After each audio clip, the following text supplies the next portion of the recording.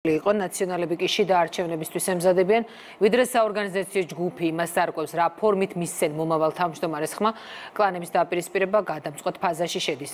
ნინო არღულიანი არკვევდა რას მოუტანს ახალი ფორმალური ლიდერი დაშლის პირას მყოფ პოლიტიკურ ჯგუფს დაასრულებს კრიზისს თუ უფრო გააღრმავებს ნაციონალურ მოძრაობაში დავით კეზერაშვილისა და ვანო მერაბიშვილის დაფინანსებული პოლიტიკური სანახაობა გრძელდება. პარტია არჩევნებისთვის ემზადება და პარალელურად არკვევს არჩევნების შემდეგ ვინ დარჩება მოქმედ თავმჯდომარესთან ნიკამელიასთან და ვინ ჯერჯერობით რიგით ლევან ხაბეიშვილთან. მე მგონია რომ შეცდომა იქნება დაუშვათ რომელიმე კანდიდატის გამარჯვების შემთხვევაში პარტიიდან გადინება. ჩემთვის რა თქმა უნდა წინა პლანზე მერაბიშვილი სულის ყოფნა არ ასოცირდება გამარჯვებასთან. ეს ჩემი აა სუბიექტური პოზიცია. ძალიან მნიშვნელოვანია, რომ ეს პროცესი ისე ჩავამთავროთ, რომ სახე არავინ არ დაკარგოს. ბაჩოდოლიძის პოლიტიკური ლოგიკით პარტია არჩევნების შემდეგ არ დაიშლება, რაც იმას ნიშნავს, რომ ხაბეიშვილის გამარჯვების შემთხვევაში რჩებიან კეზერაშვილ მერაბიშვილთან ერთად,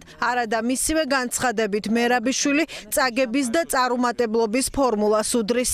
იმედოვნებ, რომ ჩემი პარტია ამ პროცესებიდან გამოვა გაძლიერებული. ეს არის ჩემი სურვილი, ეს არის ჩემი იმედი. მე არ უყურებ ამ შიდა პარტიულ არჩევნებს ისე რომ ვიღაცა უნდა წავიდეს და ვიღაცა უნდა წაგებულმა ამ შემთხვევაში დატოვოს პარტია. ორივე კანდიდატმა ამასთან დაკავშირებით თქვა კაფიოთ რომ არსად ისე იწასხოს არაპირებენ. ვიღაცა მოიგებს, ვიღაცა წააგებს. ამიტომაც მე ამის დრამატიზირებას ესე არ მოახდენ. წითლიძე დეკანოიძე მელია ხაბეიშვილს შორის არჩევანის გაკეთებას ჯერ არ ჩქარობენ. ის რაც ახლა ნაციონალურ მოძრაობაში ხდება, ამ პარტიის წევრებისთვის დემოკრატიული პროცესია. ქართული ოცნებისთვის კი დაშლის წინაპირობა. დაშლის წინ კი სახელისუფლებო პარტიის აზრით ოპონენტები ქართული ჯარისთვის მოპარული მილიონების გადანაწილებას ცდილობენ. ეს არის მინი მოდელი იმისა, რაც იყო საქართველოსში მათი მართლობის დროს და რაც უნდათ მათ რომ იყოს საქართველოსში, თუ კი ისინი დაიბრუნებენ იმ აბსოლუტურ ძალაუფლებას, რომელიც აქვს. ეს არის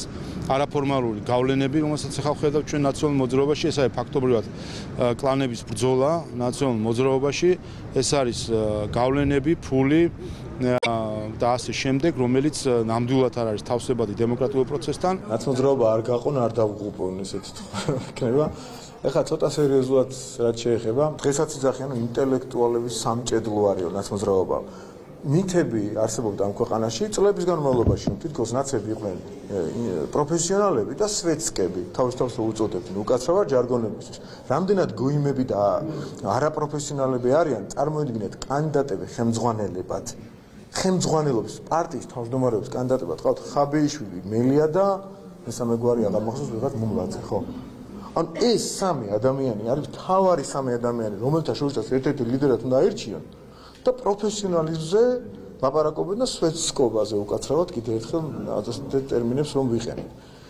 ეს არის ნაცნობრობა რეალურად. რეალურად ეს არის მათი წარსულიც აწყობს და მომავალი. რამდენჯერმე გაყოფილ ნაციონალურ მოძრაობაში მორიგი გაყოფის კონტურები უკვე ჩანს. პოლიტიკურ კულუარებში ამბობენ რომ თუ კეზერაშვილ მერაბიშვილის ფავორიტი ხაბეიშვილი დამარცხდება, ეს ავტომატურად ნიშნავს იმას, რომ პარტიიდან წაგებული მხარდამჭერებთან ერთად მიდის. არადა